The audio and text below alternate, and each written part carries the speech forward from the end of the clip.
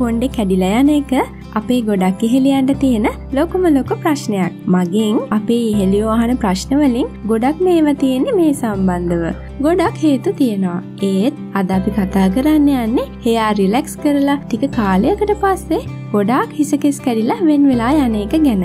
ඇත්තටම රිලැක්ස් කරනවා කියලා කියන්නේ අපේ කෙස්වල තියෙන ඒකේ හැඩයට හේතුවන ප්‍රෝටීනයක් බන්ධන හදාගන්න විදිහ සම්පූර්ණයෙන්ම වෙනස් කරන එක. වෙනත් විදිහකින් කිව්වොත් ඔයාගේ කොන්්ඩෙට රසායනික ප්‍රතික්‍රියාවක් සිද්ධ කරලා තමයි රිලැක්ස් කරන්නේ. ඉතින් මෙහෙම කරපු කොන්්ඩයක් ස්වාභාවිකවම ශක්තිය අඩුවෙනවා. ඒ වගේම තෙතමනයට ඔරොත්තු දීමේ හැකියාවත් අඩුයි. ඉතිං ඔයත් කොන්්ඩෙ රිලැක්ස් කරගන්න හිතනවනං හරි දැනටම රිලැක්ස් කරලා නම් තියෙන්නේ මං මේ කියන කරුණු ටික අනුගමනය කරලා ගොඩක් දුරට කොන්්ඩ යන එක නවත්ත ගන්න පුළුවන්. එහෙනම් බලමුද රිලැක්ස් කරපුවාගේ කොන්්ඩේ කැඩිලෑන එක නවත්ත ගන්න පුළුවන් කොහොමද කියලා.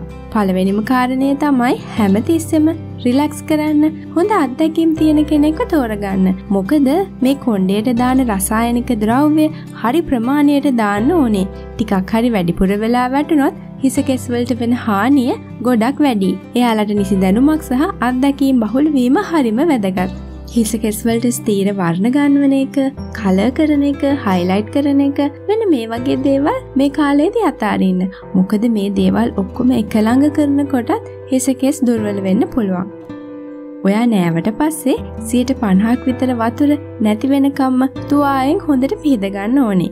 ඊට පස්සේ තුවායකින් හිස ඔතාගෙන ඉන්න වතුර අයින් වෙනකම්ම. මොකද මංවාට කිව්ව මතකයි නේද රිලැක්ස් කරපු කොන්නේ තෙතමරයට ඔරොත්තු දීමේ හැකියා වඩුයි කියලා. නාන හැමවෙලේම ශැම්පු පාවිච්චි කරන්නත් එපා. ඇත්තටම දැන්වනකොට රිසර්ච් වලින් හොයාගෙන තියෙනවා අපිට පොරොන්දු වෙන තරම් දේවල් ශැම්පු පාවිච්චියෙන් ලැබෙන්නේ නැහැ කියලා. විශේෂයෙන්ම සෝඩියම් ලෝරල් සල්ෆේට් වගේ ඉංග්‍රීඩියන්ස් තියෙනවනම් මේ ශැම්පු එක ගොඩක් හානි කරයි. ඉතින් මේ වගේ තවත් හානිකර ද්‍රව්‍ය අඩංගු ශැම්පු තියෙනවා. ඉතින් ඒවා අපේ කොණ්ඩෙට විතරක් නෙමේ අපේ සෞඛ්‍ය තත්ත්වයටත් බලපාන්න පුළුවන්. කොහොම වුණත් සතියකට වරක් විතර ශැම්පු එකක් එක ඩීප් කන්ඩිෂනර් එකක් පාවිච්චි කරන්න. හැමතිස්සෙම පාවිච්චි කරන්නේ නැතුව. අනිවාර්යෙන් තැමිලි හෝ පොල්තෙල් දාලා කොන්්ඩේ හොඳට මසාජ් කරන්න. මේ වගේ ඔයිල් මසාජ් එකක් දවස් තුනකට පාරක්වත් කරන්න ඕනේ. රිලැක්ස් කරපු කොන්්ඩවලට විතරක්ම නෙමේ ඇත්තටම ඕනෙම කොන්්ඩෙක්ට මේ වගේ ට්‍රීට්මන්ට් වලින් කොන්්ඩි කැඩිල යන එක ගොඩාක් දුරට අඩු කරගන්න පුළුවන්. ගොඩක් හෙලියන් එලියට යන්න කලින් සිලිකන් කොන්්ඩට දානවා. ඒකෙ ලස්සන ශයින් එකක් කොන්්ඩට එන හින්ද. ඒත් ඒ අපිට ඕන ස්වාභාවික දීප්තියක් නෙමේ. ඉතින් කොන්්ඩෙ කැඩෙන එක අඩු කරගන්න ඕනෙ නම් රිලැක්ස් කරපු ඔයාගේ කොන්්ඩෙට සිලිකන් ගන්න එපා. කොන්්ඩේ අයන් කරනවා නම් සතියකට වරක් විතර කරන්න. නිතරම කොන්්ඩේ අයන් කරන්න යන්නත් එපා. ඒ වගේ මයි අයන් කරද්දි මීඩියම් හීට එකට යන්න හැමතිස්සේම උත්සාහ කරන්න ලොකෝෂ්ණත්වකට යන්නේ නැතුව.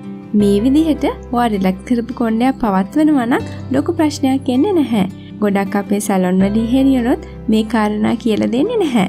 සම්හරක් විට ඒකෙන් අපේ යෝතයන් රිලැක්ස් කරන්න අකමැති වේ කියල වෙන්නත් පුළුවන්. ඒත් සැලොන් වල ඉන්න අපේ හෙරියන්ට පුළුවන්නම් මේ කාරණා කියල දීලාම රිලැක්ස් කරන්න අපේ ඉහෙලියන්ගේ කොන්්ඩි කැඩෙන ඩැමේජුන ඒව ගොඩක් තුරට අඩු කරගන්න පුළුවන්. ඉතිං ඔයාලා අපේ වීඩියෝ එකට කැමතිනම් සහ අපේත් අලුත් වීඩියෝස් බලන්න කැමතිනම් අපට සබස්ක්‍රයිබ් කරලා බෙල් බටන එක කලික් කරන්නත් අමතක කරන්න එපා